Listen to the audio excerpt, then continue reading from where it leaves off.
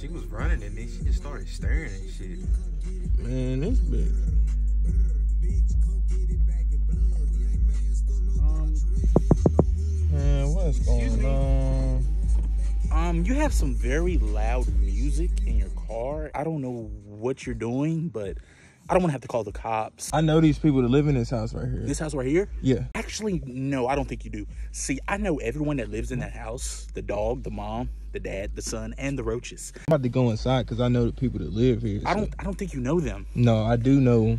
See, now you're pushing my buttons. Man. I'm gonna have to go ahead and call the cops. Nah, I don't like what's going on right here. I don't know what's in your vehicle. Your windows are blacked out.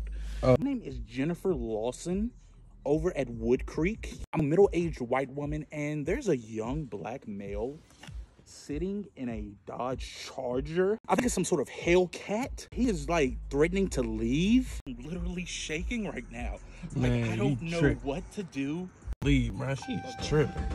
He just started his oh. car. Hell, he's trying to run me over.